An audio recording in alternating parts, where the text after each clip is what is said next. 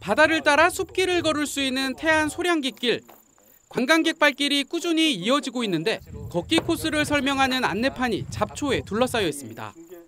지도와 글자가 흐릿해 도무지 내용을 알아볼 수 없습니다. 바로 옆에 있는 안내판들도 제 역할을 못하기는 마찬가지입니다. 태안 원북면에 있는 이화산을 소개하는 안내판입니다. 보시다시피 잡초에 글씨가 가려 내용을 파악하기 어렵습니다. 인근에 있는 또 다른 안내판. 일부가 파손된 채 방치되고 있습니다. 아래엔 쓰레기를 담은 봉투가 놓여 있습니다. 청소를 하던 주민들은 안내판 주변이 늘 쓰레기로 가득 차 있다고 말합니다. 약시질에서 먹고 그냥 여기다가 집어 던지고 그냥 그렇게 가. 그래 동네 사람들도 뭐 이렇게 버려놓으니까는 그냥 여기가 쓰레기장인 줄 알고 갔다가 놓는 사람들도 많아. 지금 별거 별거 다 있네 아주.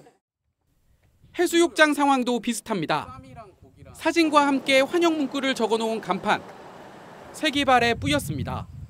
그런데 가까이 다가가 보니 식당과 숙박업소 상호가 흐릿하게 겹쳐 보입니다. 그 전에 다른 용도로 활용됐던 것을 제대로 제거하지 않아 흔적이 고스란히 남아있는 겁니다.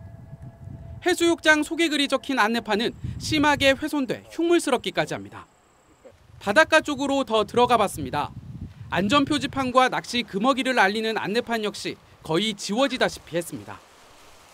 해안이 이제 관광 도시다 보니까 많은 이제 관광객들이 오게 되는데 이정표나 이런 좀 이런 부분들이 이제 지저분하게 되면 첫 이미지가 또 안 좋다 보니까 좀 그런 부분들이 좀 개선이 필요하지 않을까. 수천만 원을 들여 세운 대형 간판이 무용지물이라는 지적도 있습니다. 시내로 진입하는 도로에 있는 전통시장 간판. 서산 쪽에서 오는 운전자를 위한 이정표인데 대부분이 나무에 가려 보이지 않습니다. 가장 먼저 현황 파악이 우선이고요.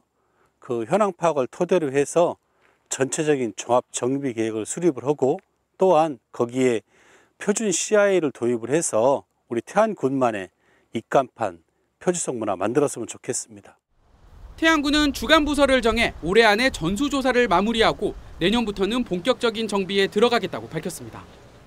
어, 현재 우리 부서에서 진행하고 있는 태안군 공공디자인 진흥 계획하고 가이드라인 어, 이 용역 사항에 맞춰서 이것도 지금 어, 같이 예, 정비하고 전체적인 틀을 좀 이렇게 정비할 필요가 있다.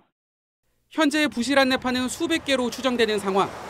서해안 대표 관광지에 걸맞은 새 단장과 함께 지속적인 관리가 필요하다는 목소리가 커지고 있습니다. 헬로티비 뉴스 한보호입니다.